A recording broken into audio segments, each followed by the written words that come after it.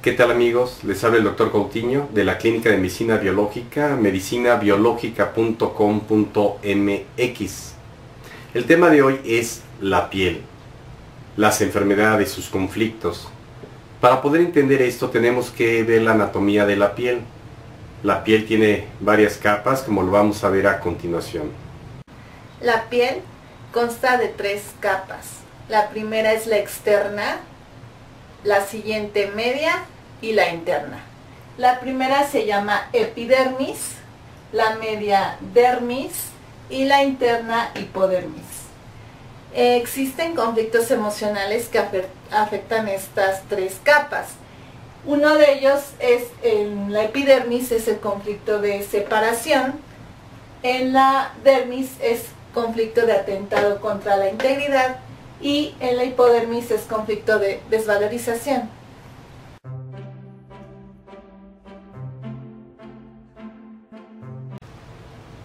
En la epidermis, la parte más superficial, la parte que está en contacto ya con el exterior, su conflicto es, como lo vimos, la separación. Como vimos, la parte más externa es la epidermis es la parte que tenemos contacto y su conflicto es la separación. Tanto en los eh, animales como en el ser humano puede ser la separación real, simbólica, imaginaria, de tal manera que en los animales cuando hay una separación de la manada, esto es grave y es mortal. En el ser humano va a vivir un conflicto de separación. Por ejemplo, puede ser de la madre, de un ser querido, puede ser de algún, alguna mascota, algún animalito, etcétera, ¿no? ¿Qué va a suceder? Recordemos que en la nueva medicina germánica se explica que hay dos fases, la fase activa y la fase curativa.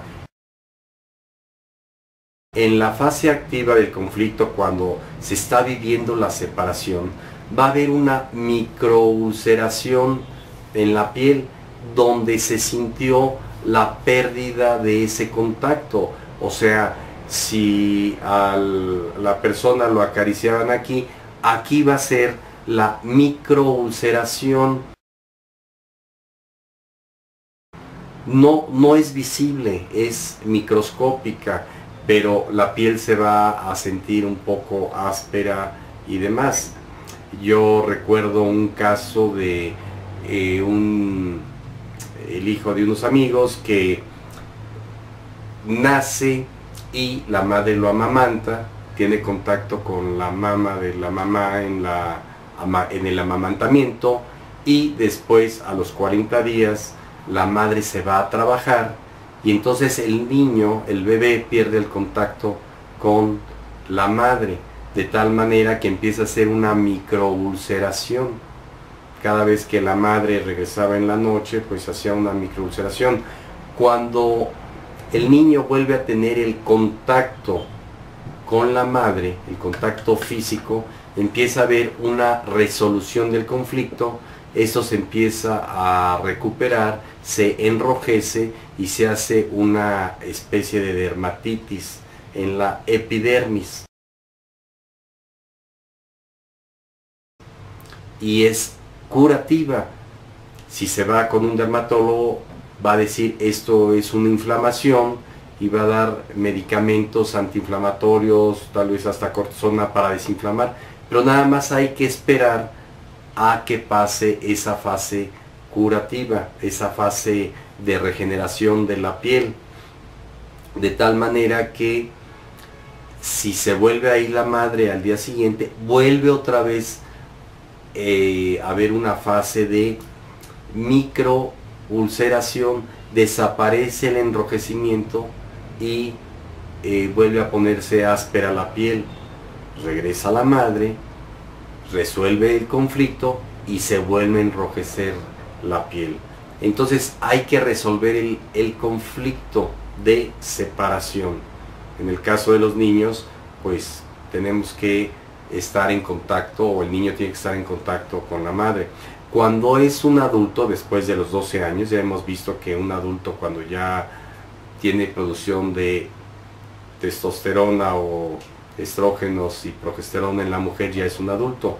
En este caso, pues el conflicto de separación va a consistir exactamente igual y según la zona donde sintió la separación la piel, ahí es donde se va a microulcerar y a enrojecer en la fase curativa.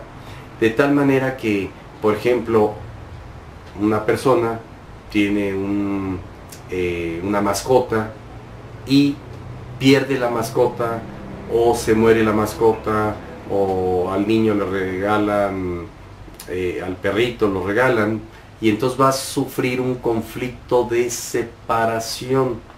Esa microulceración no se ve.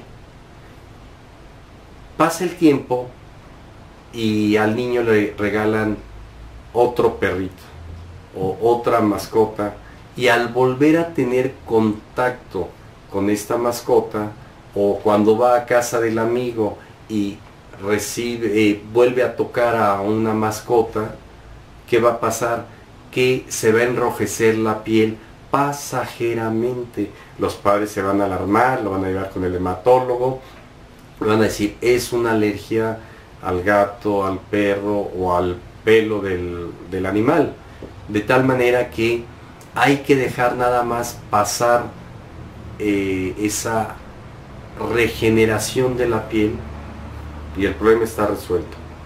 Nada más que puede empezar otra vez un conflicto de separación. Es decir, si la mascota ya se queda con el niño, ya se va a curar esa piel. Si pasa el tiempo y vuelve a tener conflicto de separación de esa mascota, va a volver a sufrir esa microulceración.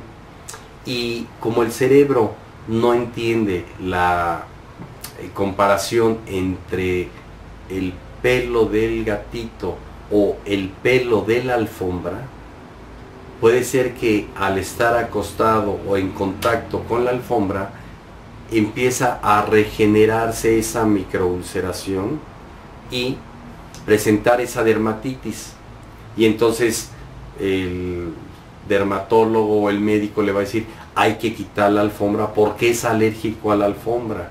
Simplemente comprendiendo en la nueva medicina germánica del doctor Hammer que es un proceso mental donde hay ulceración, microulceración de la piel, donde estuvo en contacto y ahora ya no se tiene ese contacto, va a haber esa microulceración. Y cuando se resuelve el conflicto va a haber ese enrojecimiento, esa eh, regeneración de ese tejido. Es muy común la neurodermatitis, que es en los pliegues. Ahí el niño eh, muy frecuentemente se produce esta inflamación de la piel. Nunca yo recomiendo tratarlo con antiinflamatorios, antihistamínicos, porque esto se puede volver crónico. Puede haber una dermatitis del pañal, por ejemplo, ¿no? Donde hay esa microulceración y una regeneración de la piel con el enrojecimiento y la inflamación curativa de la piel.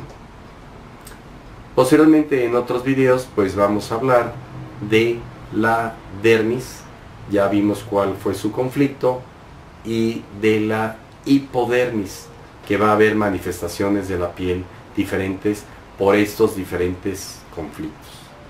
Muy bien amigos, les habló el doctor Coutinho de la Clínica de Medicina Biológica medicinabiológica.com.mx.